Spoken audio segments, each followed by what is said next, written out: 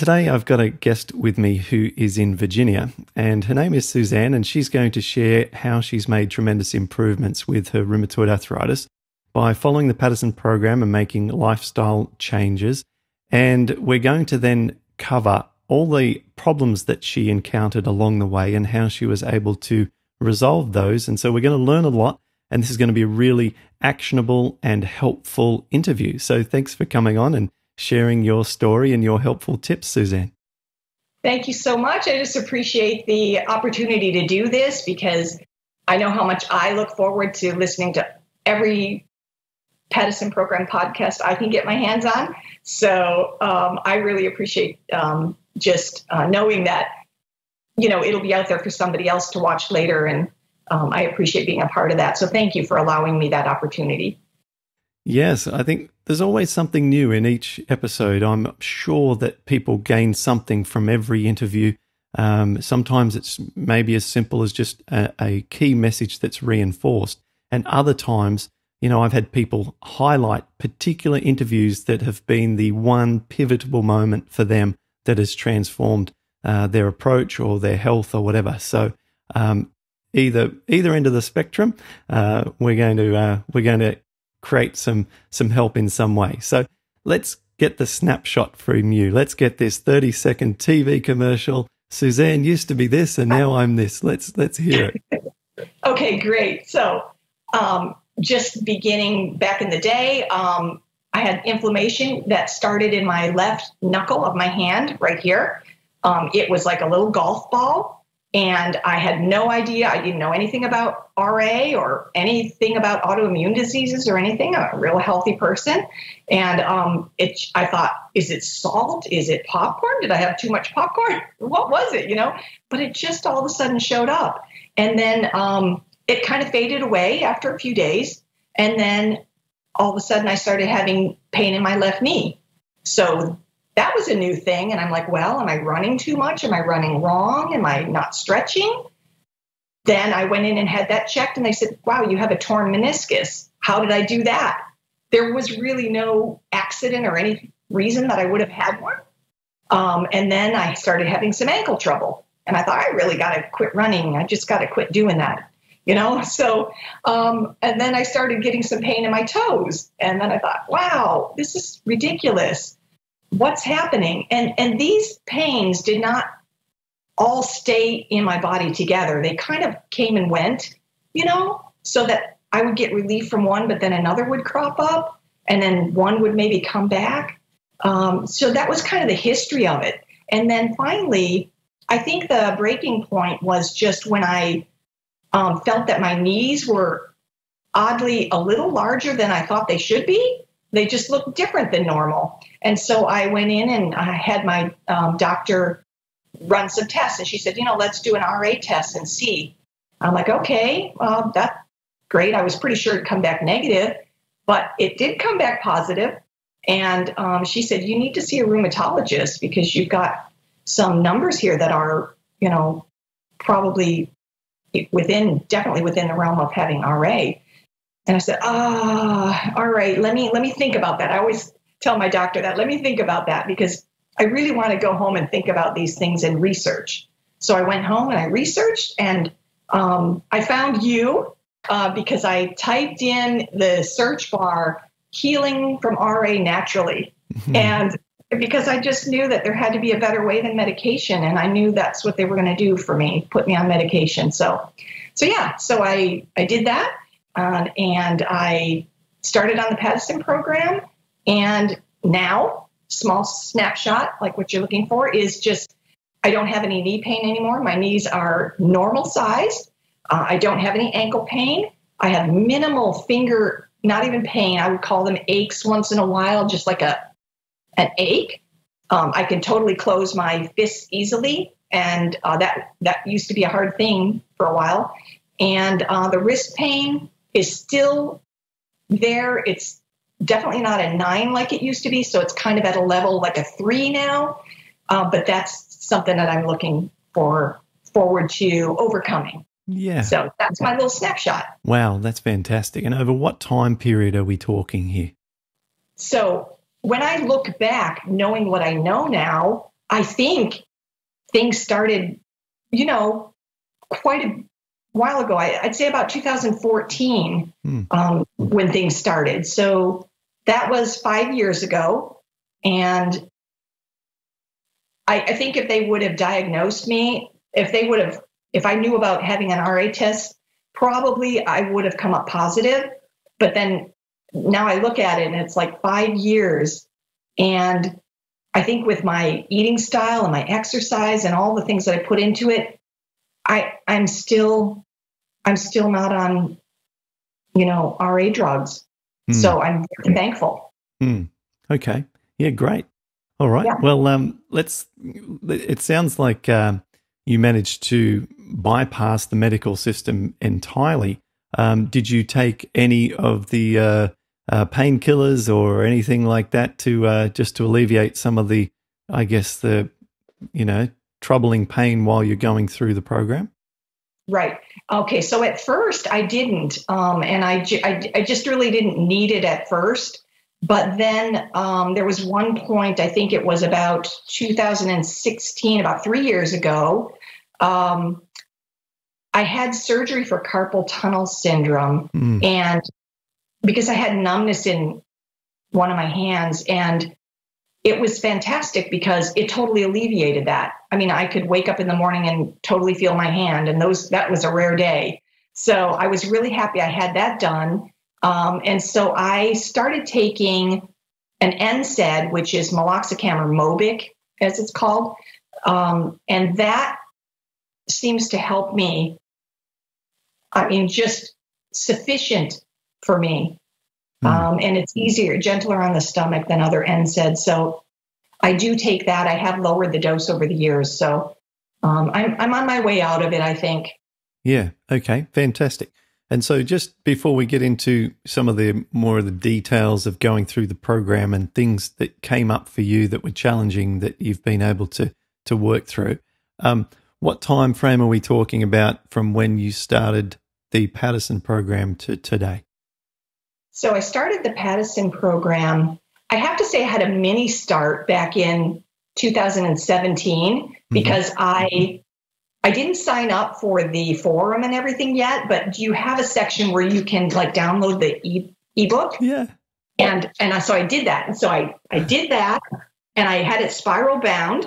Beautiful. So I got all my my notes and my highlighting, my underlining and and because computers are great and reading it digitally is fine, but I'm kind of a visual person, so I really needed to have it in front of me so I could highlight and look back and just have it with me, you know, so that helped me a lot. So I did that at first, um, and it worked great um, because I, I pretty much stuck to it and I was I was doing really well. Except um, about a year later, I realized that you know I feel like I'm kind of failing at it because I'm not I, I, know I was doing the program correctly, but I felt like my mind really wasn't in the right place. I wasn't, and I think that's where support comes in. So I talked to my husband and I said, you know, I think I need support. I think I need to go on and, and get on the, the whole program. And he's he's very he's very um, supportive for me, um, and he knows a lot about um, just having support in counseling and things like that because he's a he's a John Maxwell one of John Maxwell guys. So he's like, you know, I see the the validity in having support, and I think that you should do it. So I did, and um, I think that's when I really say that the program started working for me and has continued to work for me. So the support is like 80% of this program. Mm. So, yes. yeah. yeah. Yeah. Fantastic. Okay. Yeah. Wonderful. All right. Well, let's get into some of the nitty gritty. Um, we um we wanted to cover together. You and I discussed how we could add some things to this interview that are different, so that people uh, who watch every episode can get some, get some new things. Um, can you run through a, a, a, some of the things that you found challenging and ways that you're able to work around them in any particular order, whether it be with regards to the food or or exercise challenges, and uh, and we can discuss them one at a time. Okay, sounds good. So um, when I uh, when I started, I, I, was always a healthy, I would say a healthy eater. And I think a lot of people on your podcast and in your program have said the same thing. I mean, they, they thought they were what was considered healthy, eating healthy. My issue um, being a, a vegan at the time was that I had a lot of nut butters and things that I was eating and coconut oils and things, which were in a lot of the foods that I would make. And so I found that mm. those, I, to this day, I don't eat nut butters and I don't eat things with oils and coconut oils. And I can't because I know that they directly affect my wrists. I'd say in about 24 to 48 hours. Yep. And you state that in your program that it's going to show up. You know, sometimes it can be even longer than that. But if you keep a little journal of, you know, what you're eating, um, which I have done. So I've got this this little book awesome. here that I, I, call Beating RA. Yep. And awesome. I I write all of my um, foods that I try and symptoms that I have. And so I can always look back and see how long it took me to, um, you know, have a symptom from something. So it's easier to do that way. And then it doesn't leave it vague in your mind. So you're just not sure what it is. Because yeah, I think that, right. that can cause you to give up if you if you do it that way. Yeah, that's fantastic. So there's two things there. I don't want to skip too quickly on to talking about the journal. I want to talk more about that. Um, but you mentioned the nut butters. A question comes up more often than I, you know, would have imagined. Um, you know, people people actually ask more often, "Can I have nut butters? Can I have almond butter, uh, uh, particularly almond butter, uh, and some of the other uh, nut butters, macadamia nut butter, and things um, more often than the nuts themselves?" Which I think is interesting. First of all, I think, what are you putting it on? I mean, are you eating bread? If you're eating bread, uh, then you're pretty advanced through the program. Things are going pretty well um, you know, it might be okay to, to have these nut butters.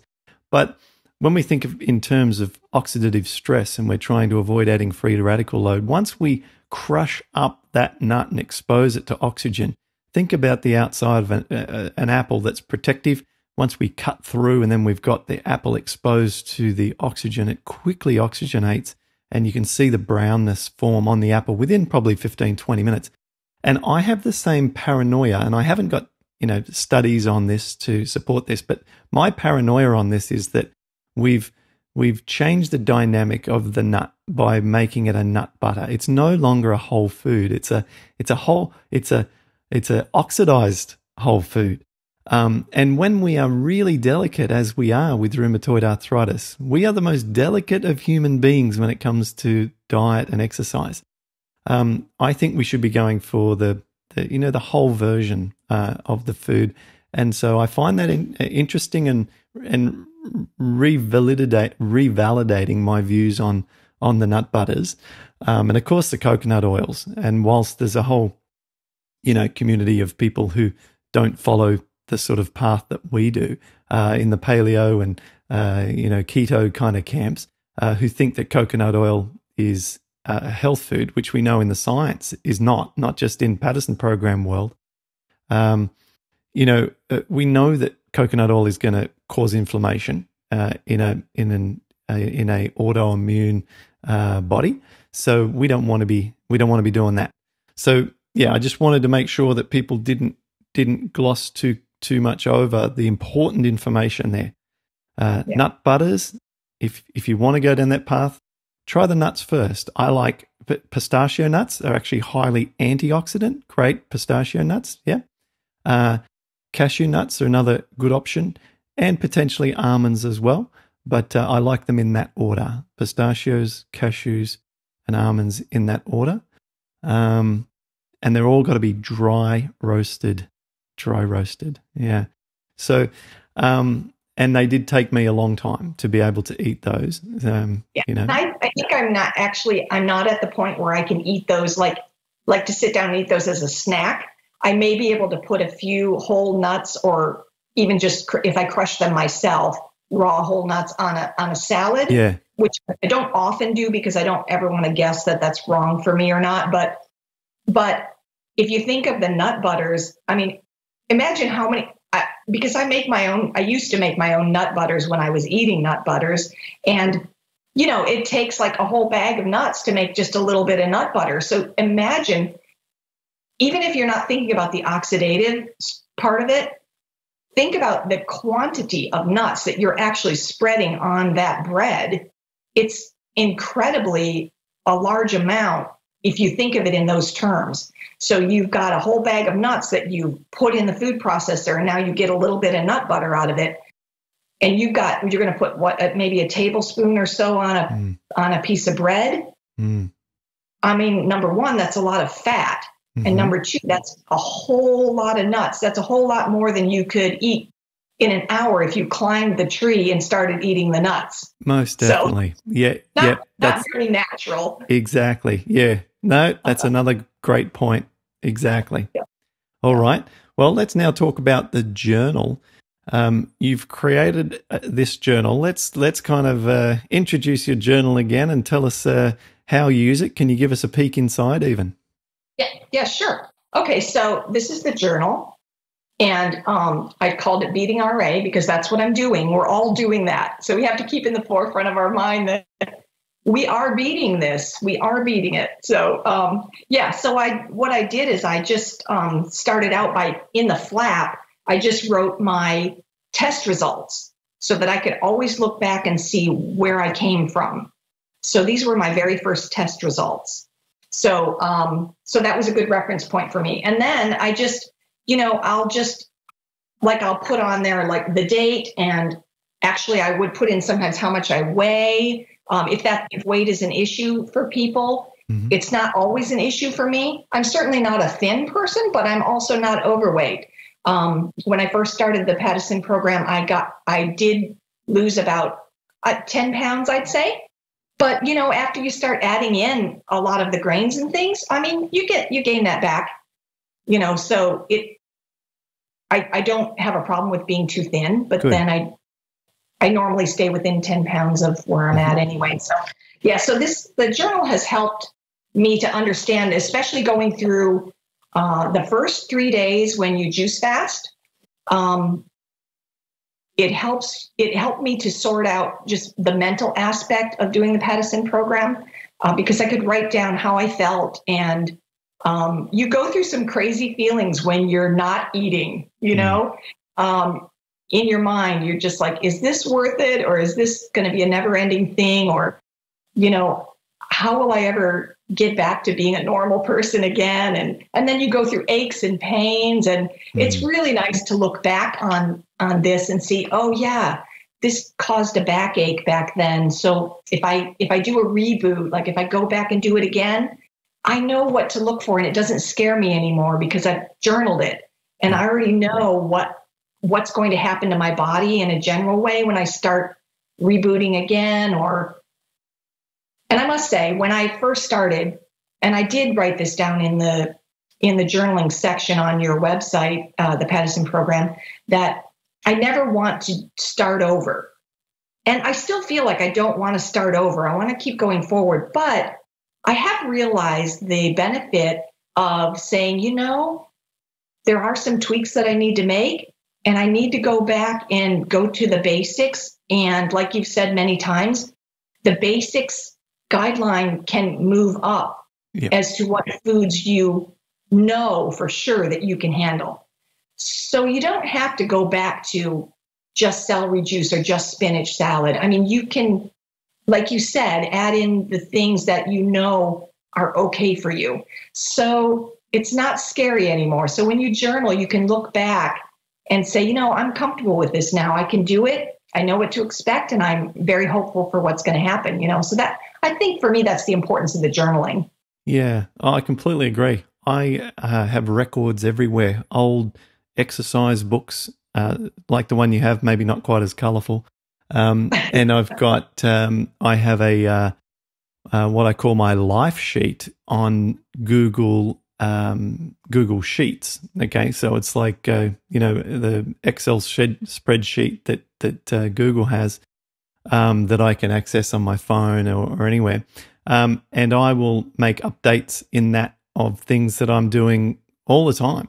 Um, and and in a just uh, so that's kind of across the board. So that might be I biked twice today. I did uh, this with regards to my exercise or so on. I went to Bikram. I even make notes as to what I was able to achieve in Bikram each class. I mean, it's pretty um, detailed.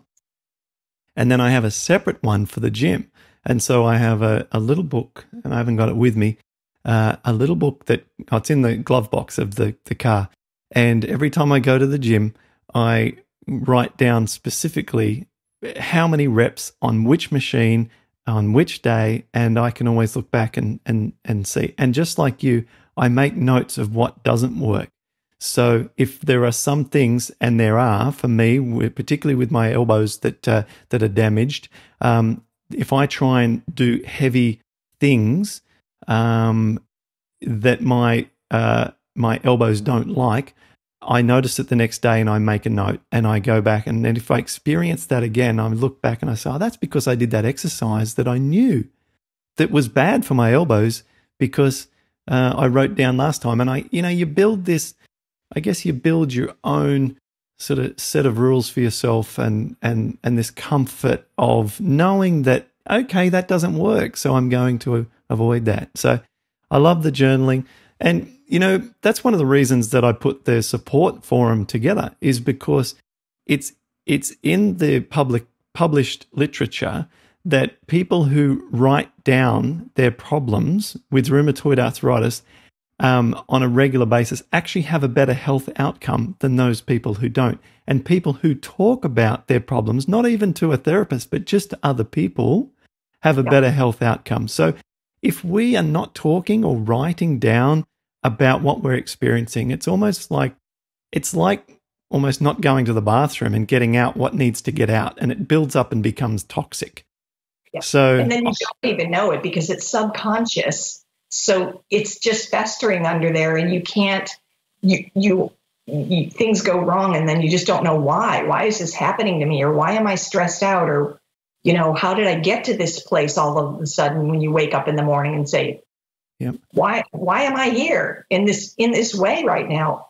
Because you haven't understood the underlying, you know, issue that's been going on and, and just brought it to the forefront of your mind so that you can tackle it. Yep. Yep, for sure. All right. Yeah. Well, thank you. Yeah. I love that. I, I, I could talk all day about the journaling and record keeping. Anthony Robbins says that what we record improves, and what we record and then share with others improves exponentially. I that, agree. Absolutely. It's such 100%. a lovely, it's, it's beautiful. Okay. So, what else can you tell us that you've uh, found little cheats for or hacks for? Okay. So, um, well, yes, when you say the word cheat, so here's a little cheat that I, I will confess. Um, the first three months, I did not um, drink coffee. I went 100% off of it, and it took me about five days to detox from it because that's that's some strong stuff. You know, caffeine is not good for you, and I know that. So um, I I actually started drinking coffee again, and I have to say my mood improved. I don't like to tell people that, but you know, um, but then I thought I, I started feeling a little bit guilty, and I thought, you know, it might keep me that guilt feeling is also not a good stressor to have. Mm-hmm. and it will keep it kept me from coming back on and just saying hey i'm dealing with this. So you know i went for uh, this this that's not right because this causes stress. And so i thought i'm just going to let you know that right up front that i started having my cup of coffee. And yes it's not ideal but I just wanted to address the fact that I got to the point where I didn't want to let it stop me. I could have made a decision at that point and said, well, okay, so I I had coffee, now I have to quit the Paddison program and I'm just a failure. You know, I could have done that. But I decided that, you know, everybody's got their little thing that is difficult in life and that they're dealing with and they're trying to work out. However, they're not they're not there yet. They're not perfect. And I'm certainly not perfect and I'm not there yet.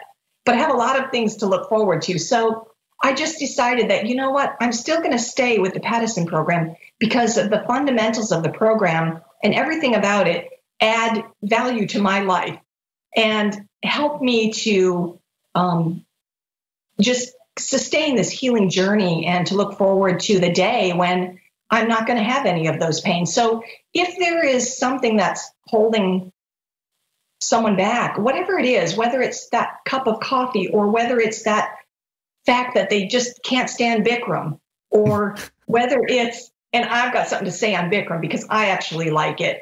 Um, but, but you know, no matter what it is, that that thing, maybe maybe it's a social circumstance where they can't, um, they just can't not go out with friends and and have a drink or something. I don't know, but don't let that keep you 100% from the program because I think I would do myself a disservice if I didn't continue. So I, I've just made the decision that I'm going to go on with it. And every day I'm going to strive to do better in every aspect, whether it's exercise or um, my diet or whatever it is. And and I'll get there someday, just like everybody else. We're human. yeah. And let's face it, if having a cup of coffee each day makes you stick with the other 99% of the program, then yes. you are certainly ahead of the game. Um, and I think that it would be a little bit of a far fetched claim to say that the cup of coffee would undermine uh, progress when you're doing all the other things correctly.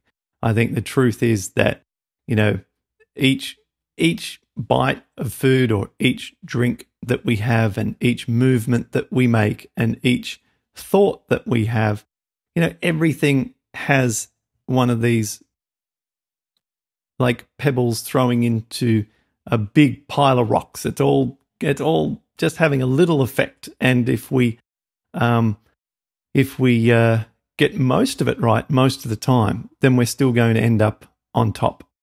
Um, right. We did mention before the impact of some of these very negative items, such as the oils in particular. If we just focus on the oils, and if your daily habit each day was wanting to, you know, put oil on your salad, I would say, look, how are we having this conversation? How are you having?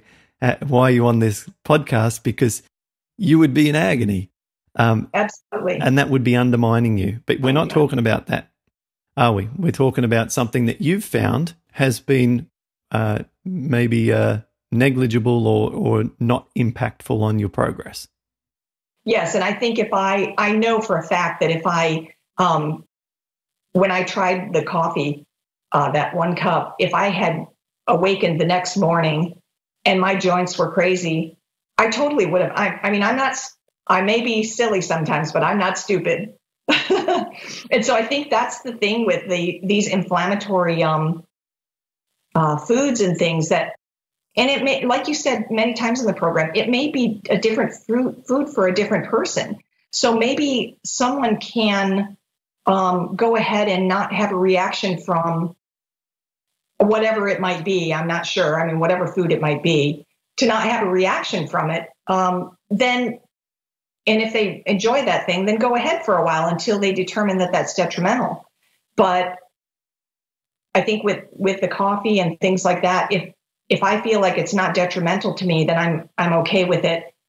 Until I get to the point, honestly, Clint, when I look into the future, I do see myself being free from those things because I, I don't want to be addicted to anything yeah.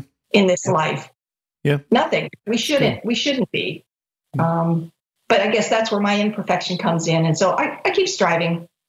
Oh, look, uh, and and if if you never never stopped, uh, I don't think it's a problem. Um, as long as it doesn't make your joints feel worse. Like right. seriously, uh, you know, some of the longest living people on Earth according to the Blue Zones by Dan Buettner, um, you know, they that what they most frequently drink is water, tea, and coffee. Okay, so it's not like coffee is an instant disqualifier for having longevity and an instant disqualifier for health. Um, right. It's just um, something that uh, not going to be a healing food, right? and so or healing drink. And so against the worst enemy that we could imagine, I have it out of the program because I just want to give everyone the greatest possible chance of success because yeah. the odds against us are so great. Um, They, and, they and are, and I agree. And, mm. and, because it's an acidic type of a thing that causes, uh, you know, it's not alkalizing. So you're, it's not good for your body to have that. And it, and like you said, all, all things work together. So, you know, our system is so complicated and every little thing that we can do to bring it to the state of health you know, even if it's if it is getting rid of the cup of coffee or a, I mean that's what we that's what you strive for. You set that up as your goal to do that 100%. So if we keep that in the forefront of our minds, and then and then I, am talking to myself, I work towards that work towards that goal, right? I can hear you thinking this way, but look, yeah. let, uh, and I'm I'm I'm on the other side of the fence. I'm on your side of the fence here for a little bit, and I want to just because I, I, I think it's worth spending just another minute or two on this. Sure. The, the couple of benefits that may, and I'm not encouraging people to start drinking it. I'm just saying yeah. why it may not be a problem for you and why people might find this interesting. That if they are also having a cup of coffee and they want to keep that, uh, as to why it could be good if it helps them stick to the rest of the program. Yes. Um, we know it's a diuretic, so constipation is far worse than having a cup of coffee. Okay. So if until someone is able to have regular and normal bowel movements, the cup of coffee helps them achieve that, then in those in, in that instance, it's a benefit. Um, right. It also helps, as you said, it, it, it does tend to stimulate stomach acid. And if someone has low stomach acid and they find that they uh, on having a cup of coffee uh, doesn't worsen their joints, for that person, it may be helping to you know digest uh, some of their protein better because the stomach acid's heavily um, required for protein digestion. And so, look, there's not that that doesn't stack the argument in favor of coffee, but yeah. you know, nor is coffee the you know the ultimate enemy. The ultimate enemy is something that massively inflames the joints, and we've covered some of those. And there's obviously a bunch of other things that that um, that we could list, but Let's move on to the next bullet point. What's your next bullet point or thing that you've been able to overcome or, or more cheats even? Okay, let's see. Um, maybe just talk a little bit about, uh, I wanted to discuss a little bit about exercise and how uh, I had to really be open to change when it came to exercise because um, I've always exercised ever since my high school years, um, at least three times a week um, in various different forms of exercise. However, it was mainly like the, the home workout. So I'm um, I'm more comfortable doing workouts at home than I am going to a gym or whatever, just because, um, you know, I don't want to give myself any excuse not to go to the gym or not to get my workout in. So if I have, if I work out right here in my home and everything's available to me, then I'm likely to do it all the time, you know, and to be good at it. So um, when I first started, um, I was uh, running and I was doing um, weights and I was also doing some high intensity um, cardio. So then the knee problem and the ankle and all that stuff cropped up, and I had to make some changes. So what I did is I went to um, just plain jogging and not not going very fast, and then doing um, some yoga. And now this yoga wasn't Bikram yoga at the time because I didn't know anything about Bikram yoga. Um, so I was doing yoga, which had a lot of um, wrist work in it, actually. So then when I started your program, I thought, you know, I'm going to give this Bikram a try. And it, I didn't wait very long until I tried it. Um, we may have Bikram in this area. I'm not sure because we are in Virginia, we're in the DC area. So we've got almost everything you can think of in food, in exercise, and everything. However, I knew for it to be successful for me that I would have to have it accessible right here at home to do whenever I wanted to. So I did a little research and found Bikram's um, yoga book online on Amazon. And I ordered it, and it has the pictures and all the moves. And then he's got, um, there are a couple videos online that you can find that show the moves. So I I did that, and I do to this day. I do it now. I don't do hot yoga because I can't. I don't want to grow mold in the house or anything. so I can't, I can't, you know, I can't do hot yoga. But um, um, but I think that, like I said before, as with the coffee, you you can't let one little yeah. aspect deter you from doing something. You know, just do something. So um, yeah, so I do the Bikram and I do the full 90 minutes and I do it at least three times a week. Awesome. And I do it in the serenity of my own home, in the peace of my own surrounding, and on my own time. And I find that that helps my attitude. I'm not rushed to run out to a class. I'm not pressured to, you know, what do I need to wear? How do I, you know, what am I going to look like? Or, you know, how yeah. is it going to be? I just, it's so relaxing. And if you can wrap your mind around just relaxing about the whole thing and doing it the way it works for you, then don't let Bikram stop you from trying it. Do it at home if you don't want to run out and find a class. There are so many people that have said, you know, the closest class is 90 miles away or whatever. Mm. Don't let it stop you. Mm. This is a very small world with the technology we have today. Mm. So just set up your set up your computer and just hit one of the online um, free courses and just follow it. They got all the moves. They'll show you how to do it, and it's mm-hmm. encouraging. And um, so I really love the, that aspect of being able to change the exercise to fit where I'm at mm. in the journey that I'm on.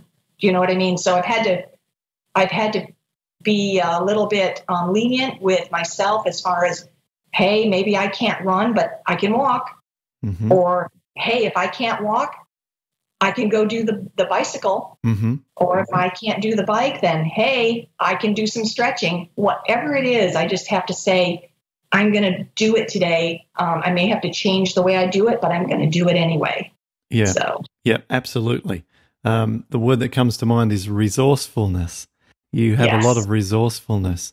Uh, you're able to um, find a way of of making it work for you under the circumstances um, and uh, not having to make it perfect, um, but actually still making it part of a, a routine and a habit, which is the, the goal. Uh, the goal is the habit. Uh, if we can establish yes. the habit, the results will come. Okay, there's, that, a, there's a way. yeah, I loved that one. Okay, have you got any other little uh, tricks up your sleeve to share with us? Um, let's see. I think, I think one of the one of the things that I like to that keeps me going is just to visualize myself healthy and well and see that picture clearly in my mind. Um, because at this point, well, right now I'm 55 years old. And so I think if I were to look at it in a the worldly view of RA is that in 10 years a person would be really incapacitated or in a wheelchair. Um, but I'm not going to go there mentally ever. I'm never going to go there. I'm always going to look forward to visualizing myself healthy, well, enjoying life, and just continuing on with the journey every day and enjoying this life for what it has every moment of the day. So I never let myself dwell on negative aspects. And I have to say, that it is a real thing when you have an autoimmune disease to subconsciously to allow your subconscious to give you negative thoughts and help you and, and make you come to this and, and you've discussed this before on your podcast this dark place mm. um, where you you feel hopeless and helpless and i find that those times do come to me yes. but they usually come to me at like five or six in the morning when I'm just starting to wake up and my I'm starting to come back into consciousness. And I have to immediately force that out of my mind and say, no, we are going to be healthy and well, and we're moving forward, and it's going to be a good day today. And I find if I say that to myself, it actually turns out being a great day. And I really look forward to um, the healing process, you know, but you have to be really conscious about pushing down those negative thoughts and not allowing them to take over your mind or your your will because i think when we dwell on those things it really shapes how the reality. It really shapes our reality. Oh yeah. Yeah. Any of the experts in creative visualization um, will tell you that um, you know whatever you focus on the most will perpetuate in your life. And this is why every time we get a bill in the mail, we shouldn't create a fuss and talk about the bill that's arrived in the mail and it's another bill. I've got another bill. Well, guess what? It feels like all you ever get in the mail is a bill. But right. when you oh, when you when the mail comes in, we should just acknowledge, okay, there's a bill to pay. Get it done. Just pay the bill online, whatever. Take care of it. Don't give it much thought. No need to discuss it. And we've got letters from friends and family and things that we can talk about. And let's just rejoice and over uh, sort of discuss and, and celebrate those positive things. And then all it will seem like is that we're getting letters in the mail from loved ones. And and whilst yeah. it's a it's a sort of a little uh, uh, light example, that's how it plays out for us definitely with our health as well. And you know, I actually said to Melissa yesterday, I said it's almost like the human being is just designed to whinge and complain because all I'm ever hearing from people when you how, how are you how are you going? I'm going okay, but this is wrong. How are you going? Oh, today wasn't too bad, but this went wrong. And okay, why? It's like all everyone ever does, and I'm guilty of this. Always like blah blah blah, but well, let's just talk about you know how that can have an impact on us, especially when we're talking to ourselves.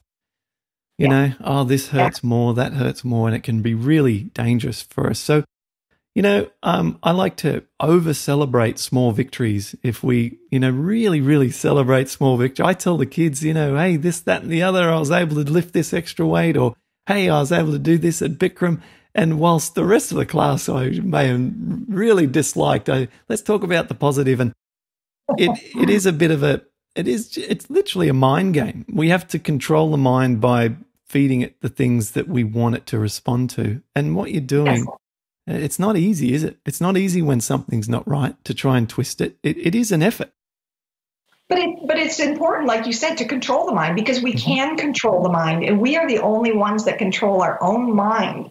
So I think you know if you have trouble with the if anyone, including myself, has trouble with the uh, you know the complaining thing, I mean we're human, we do that, mm. but acknowledge it and say, okay, I'm going to give myself five minutes to yeah. whine. Five minutes to whine. And when I'm done with the five minutes, yeah. I can't whine anymore. Yeah. So it's all got to be positive after that. So go ahead and acknowledge it because you're a human being and you, you do have those feelings. Get it out of the way and don't let it get in the way of the rest of your day. So I really like that. I really like that. Yeah, because we have to share, we have to get it out, but let's get it out. Let's get it all out. Let's scrape it right to the bottom of that barrel and clear everything, yes. not just the superficial stuff, but all of the stuff that we imply may happen to us because of that, and all the things beyond that. And then when we get all that out, we can say, all right, well, that's the worst that could happen. What's likely to happen? Probably a lot less today. And now let's go and do something positive. Let's take massive action right now. Let's jump on the exercise bike, or let's go yeah. and hang from a pull up bar that we've bought and put above our doorway, or let's yeah. go and grab some of these exercise bands and do some bicep curls, you know, whatever it yeah. might be. Um, or let's go and make a green juice. So I love that. Absolutely. That, that's oh, a great one. The visual, visualize healthy and well. Well, thanks, Suzanne. Have we missed anything? I don't think so, other than um, yeah, like you mentioned, the green juice at the end. I mean, that's a 100% important thing. Got to have your green juice, whether you're juicing it or putting it in a smoothie, it doesn't matter. Mm-hmm. Got to have your green juice. And one little thing that I like to do is I my best green juice, not juice, but a smoothie. I love celery juice, and I do have that. But I do have a green smoothie that with banana and kale. What I do is I take a fresh bag of kale, a nice big bag, and I pop it in the freezer right from the grocery store oh. to the freezer. Yeah. And then about two days later, I take the bag and crunch it all up into little tiny powdery bits. And then now I have a bag of powdered kale that I just scoop into my smoothie. And um, you can get a whole lot of kale in your body when you've crunched it all up. That's excellent. I've never heard yeah. that one. That's a great yeah. tip. And it, it is a great tip because you can even do that with leftover salad. Like let's say you made a big salad and you know it's been in the fridge for a day and then but you you really it's not in the situation where you want to eat it just put it in the freezer and then when you're ready crunch it up and put it in your salad and your smoothie. So you've got you've got exponential number of greens in one little smoothie, and Yeah. and that helps. I think that helps. Oh yeah, Yeah. yeah, that'll help for sure. Yeah, the more greens, the better. So that's a Yeah. that's that's a cool tip. Well, thank you. Well, we've learned a lot. Um, you've uh, you've clearly learnt a lot yourself by going through this process, and uh, I want to just congratulate you on all that you've managed to achieve. You've um, certainly defied the odds in terms of you know the typical amount of symptoms that you would have by now if you had have uh, gone down the Western diet approach and and so on. So uh, not not throwing any shade towards anything that's conventional. I'm just saying that you've done extraordinarily and remarkably well. Um, Yeah. So congratulations on that front, and uh, thank you for being such a uh, great member of Paddison Program Support. And uh, if anyone's wondering about joining, obviously uh, Suzanne's explained how crucial it was for her to um, get the ongoing help and support, not just from me, but the other members who are all going through their uh, journeys and, and making their improvements. So thanks again for sharing these uh, wonderful tips as well. Thank you, Clint. And I just have to, you know, I if I wouldn't be here today and experiencing the good effects of healthy eating and exercise and getting rid of those things that we think are healthy but are are really not. Um, if it weren't for you, so thank you for reaching out. And I mean, it's got to be a massive amount of work for you to be able to um, reach people like this and the time that you put in away from your family and um, just everything. I mean, I can't even imagine what you go through to do this, but certainly it's a blessing to me, and I'm pretty sure it's a blessing to everybody else that's on the program. And um, if I could just say to people out there, don't let certain things hold you back. Get on the program and get healed because it, it is attainable and it is within your reach. So um, that, that's what I would have to say. And just thank you for helping me to even come to that conclusion and be able to just have the joy I have today just because of your program and the work that you put into it. So thank you so much, Clint. Thank you. That's beautiful. Thanks, Suzanne.